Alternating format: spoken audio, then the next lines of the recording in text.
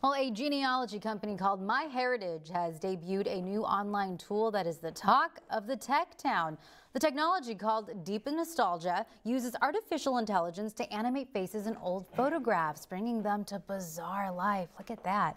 The company used old family photographs to show off the tech, along with some famous ones like those of Oscar Wilde and Albert Einstein. I saw one with Frederick Douglass. In addition to animation, the site can also colorize and enhance old photos to make them shine. It's similar to technology used to make deep fakes, which is fake videos of real people. It's raised concerns about the spread of disinformation, but controversy aside, technology truly can do some amazing things. Yeah, harness it if you use it for interesting for good. Yeah, things like with this. great power comes great responsibility. This is objectively though just just cool. Yeah, you know, I mean, to see some of these faces you've only seen in old grainy photographs come to life. Whole new look. Patrick, if you could pick one person from history to animate.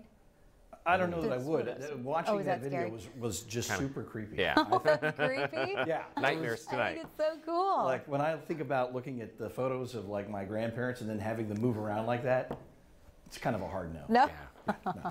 it's the future. All right.